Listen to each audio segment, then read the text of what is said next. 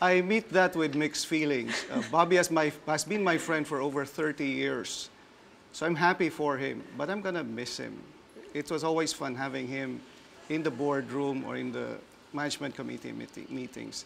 Did you see that coming? No, absolutely So who not. takes over now?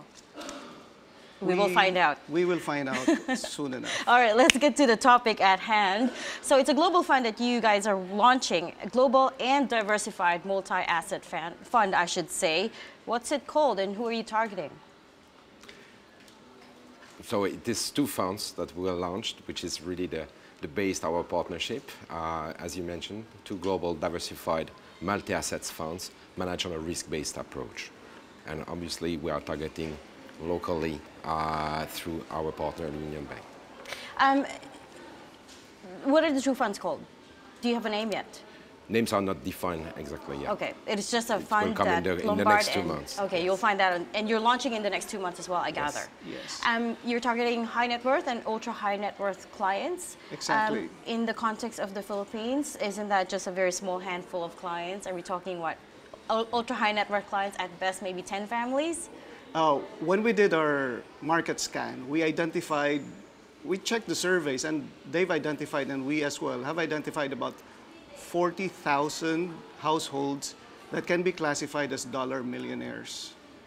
When you do the math, roughly assuming there's about 70 million peso investable funds for each household, it gets up very close to 3 trillion in investable funds. So it's quite a big sum. But also ultra high net worth, right? Which is a very small slice of the pie. really we don't want to go after the ultra high net worth because they're already being served. We'd like to go just below the ultra high net worth because that is where I think our services will be more needed. And this is an onshore fund? It will be a local onshore fund co-managed with Union Bank and Lombard Odier. Uh, which uh, currency denominated? It will be US dollars, so it's an access to the global market on a diversified way, but locally. Uh, why dollar denominated assets at a time like this? It's interesting because the dollar has been, well, you know, it's lost ground a little bit in the last couple of days, but it's still quite strong. And the peso, conversely, has been rather weak. Actually, if you take a look at this chart, that's the peso right there. It is Asia's worst performing currency year to date. It's lost more than eight tenths of a percent. Every other major currency in the world has gained against the dollar. Um, does that change your strategy at all? What we've noticed in this market for decades is that Filipinos love holding US dollars.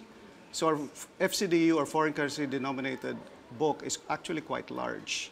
Um, we think that it's the right time for us to offer global products sold locally to our investors.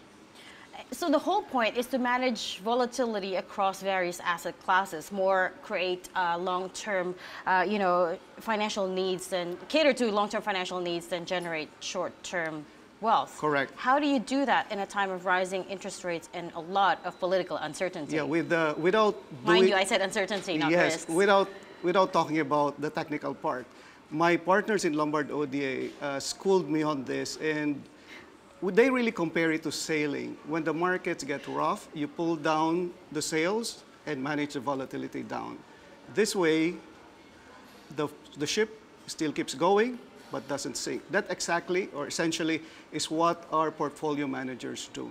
But Vincent, what's the strategy here? How do you manage volatility across a broad range of asset classes? So, so again, this is a global diversified fund and it's a risk-based approach. That means we define the risk allocation versus the asset allocations. You know, traditional portfolio of 60-40, 60% bonds, 40 equities will obviously have a higher risk in terms of equities. What we want with our risk-based is really to have to deliver a smooth performance with a lower volatility, a real effective diversification of the portfolio, less vulnerable to forecast mistakes, more stable, with an active allocation uh, and reassessment of the risk to keep always the same risk in the portfolio. So it's really a systematic investment discipline to manage the funds. Which means it will be customized for every single client that you sign on for this product. Um, Vincent, let me ask you, you're the CEO of Lombard Odier for Singapore. It's a vastly different market there by any measure you take, whether we're talking about uh, income per capita, risk appetite, or even financial literacy. How do you bridge that divide? as you come into the Philippines? I think Philippines is one of the fastest growing markets uh, in Asia. And uh, the whole approach with our partner, Union Bank, is really that we, we are sharing the same values. For us, the interest is really to look at the first generations of investors, of entrepreneurs that we have in the Philippines, with their needs to preserve their wealth, grow their wealth, to pass to the next generations.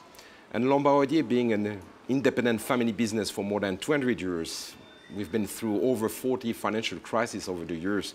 We would like to share this experience with Union Bank for its high networks and ultra networks clients to have a holistic private banking approach to the client. But surely you would change your strategy for the Philippines as compared to your strategy in a market like Singapore.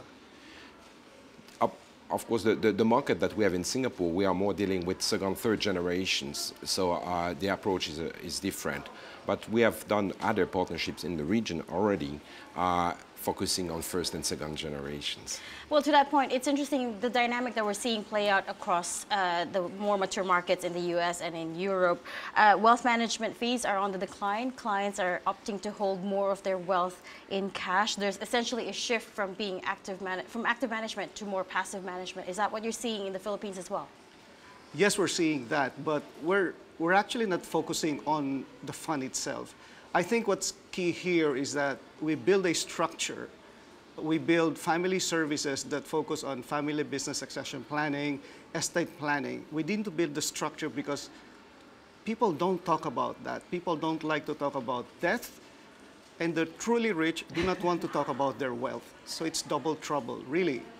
Unfortunately, the conversations have to start now. And those are the conversations we need to make before we talk about where we invest the funds. I gather you're talking mostly about the Chinese families at this stage. Um, all right, don't answer that. Uh, what else do you want to, from out of this partnership, uh, apart from these two global funds? I'm guessing you're in it. You're both in it for the long haul. What else is in there? The, the first two funds is really the basis of the partnership that will exist to other areas and depending the needs of the clients and, uh, and how we want to develop.